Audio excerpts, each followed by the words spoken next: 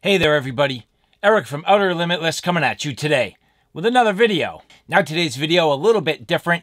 I greatly enjoy fitness. Generally speaking, being in good shape, eating well, feeling good, and living a pretty healthy lifestyle for the most part. And for me, that really comes with going to the gym and getting a good workout. I do like myself a good pump from time to time. Now, unfortunately, it's been a long time since I've been able to get to the gym. I was thinking to myself, it would be a wonderful opportunity to build a little home gym here. And well, the people at Mekbelt reached out to me to see if I'd be interested in taking a look at their rowing machine. So apart from free weights and machines, having good aerobic equipment at your home gym is definitely a great way to go. So whether or not you're into treadmills or stationary bikes, and in this case, a rowing machine, which in reality is a pretty good full body workout if you use it the right way. So having a rowing machine here, definitely cool. And with that, the people at Mekbelt asked me if I'd help them with an assembly video. So what we're gonna do today, we're gonna take a look at the Mekbelt RM116 rowing machine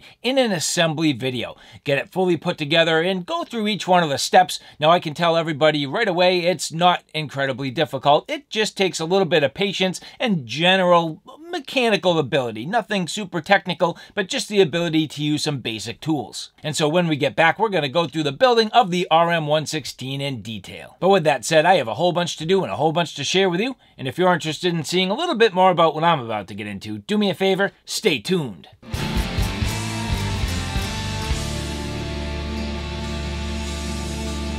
And so here, as we get into the Mekbelt RM116 rowing machine, this uses a magnetic resistance mechanism. It has 16 levels of resistance. This has a maximum user weight of 265 pounds, a net weight of 43 pounds, a gross weight of 48 pounds, and assembled it is 57.2 by 18.1 by 27.8 inches. Folded, it's 50.4 by 18.1 by 20.3 inches. Here you can see unpacking the box, everything packed up very well, super easy. Coming out of the package, you will see there are a bunch of different parts, so pay close attention to everything.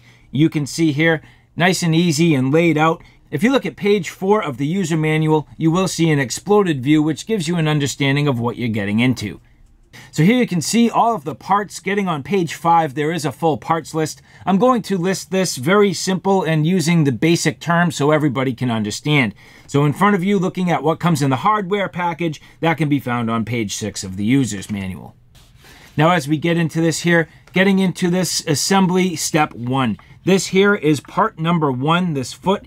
This goes on to the main unit number 8 and you can see with the wheels towards the back of the unit. You use the bolts number 4 with nuts number 7 and washers number 2. Very straightforward, slide these through the holes and bolt everything together.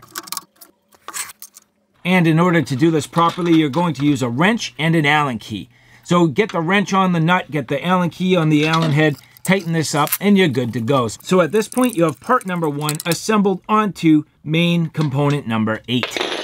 Moving forward with bolt number 20 and washer number 2, installing part number 10 onto the main unit. So slide the washer onto the bolt, get this into place, set them in loosely, and you can see you're able to get this nicely in place, no problem, threads in with ease, and using your Allen wrench to tighten everything up, very straightforward. I like to get everything close and finger tight and just check it to make sure everything looks like it's in proper alignment and to make sure that as I go with this process, I'm not accidentally stripping something. But you can see here, fit together very well. Now here for step three, using part number 65, again, getting this mounted to the main unit. You're also gonna need shaft number 60 and pull pin number 66, and leveraging bolt number 20 and washer number two.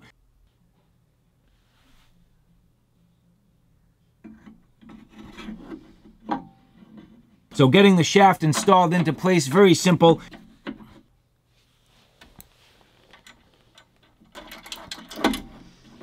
Again, you're going to use your Allen wrenches. You can see turning the bolts in two different directions until they're both tight. Again, very straightforward in getting everything in, into place. Now leveraging the pin, pull pin number 66, this locks everything where it needs to go. Now here's step number four, using rail number 61. You'll notice that the alignment on the foot goes a very specific direction. Now this uses foot number 59. This here is going to get fastened into place using bolts number 20 and the Allen key. So again, look at the bolt pattern, line everything up, start your bolts by hand to make sure nothing strips, and then get on them with the Allen key. After a short amount of time and a little bit of patience, everything should go down and into place nicely. So now you can see here step number five. Now the rail does come pre-assembled with some bumpers. Those bumpers need to be removed. So this is part number 62 and again bolt number 20. Leveraging that wrench and pulling it out, you do get those out of the way so you can fit the seat. This is number 51. Pay attention to the direction the seat goes on. There's a wide flare side and a narrow front. The wide flare side needs to go to the back. Put the bumpers back into place and proceed with step number six. Step number six, you're taking the rail assembly and getting it mounted to the main unit. At this point, you're leveraging bolts number 64 through two holes, and you can see they should line up nicely. Now you're gonna put the square end of the rail assembly into the main unit. It should fit easily, leveraging your wrench and your Allen key and tightening everything up. Again, start everything finger tight to make sure that nothing strips, and once you get it going, you should be able to get your tools in place and tighten everything up nicely. Moving on to step number seven, you do have two foot pedals. There is a left and the right. You'll notice that these fit into a certain point and then there is a set screw. Leverage the set screw. This is going to be part number 36 to set these into place. And at that point, you can pull off all of the plastic testing it real quick and getting this just a basic functional check and getting the strap and handle into place. Here you can see it did come just a little bit twisted out of the box, but not a big deal. And functionally, very smooth.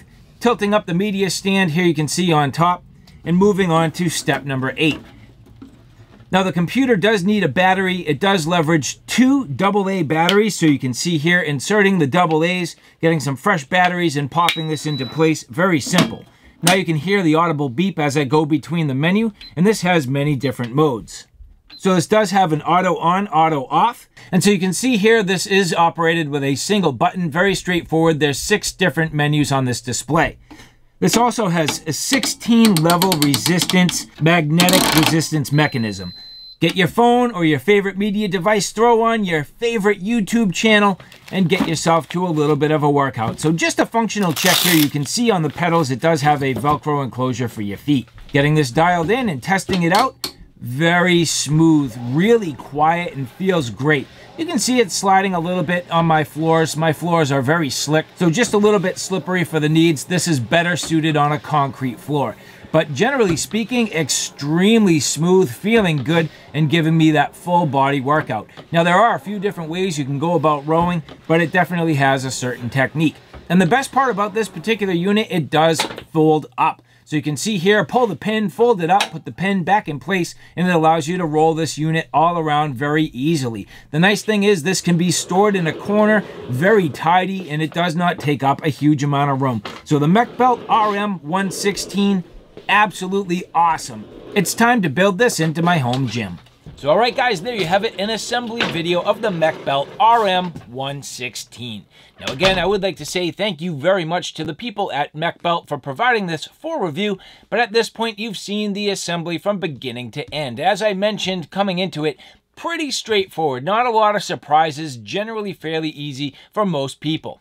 And so at this point, it's time to put that into really good use, get myself that full body workout that you get with a rowing machine. So again, whether you have free weights, whether you like machines, whether you like having some sort of aerobic equipment, and in this case, again, the rowing machine, absolutely awesome.